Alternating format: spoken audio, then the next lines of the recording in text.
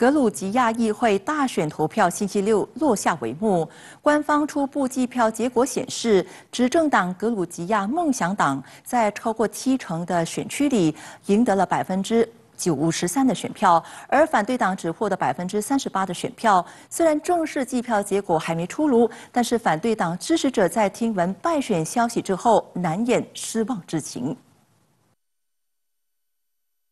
სანდობობის გაცდა მე მგონი როგორც უმრავლესობისთვის ჩემთვისაც ძალიან დაკარგული არის ზოგადად. და შედეგების რეზულტატები რაც დაიდო ძალიან სამწუხარო არის. ასეთ ვითარებაში აა ну იქნება კონფრონტაცია და კონფრონტაცია გადავა საარჩევნო ურნებიდან საპროტესტო აქციებში. ჩემი მოლოდინით 针对初步结果，反对党统一民族运动党领导人，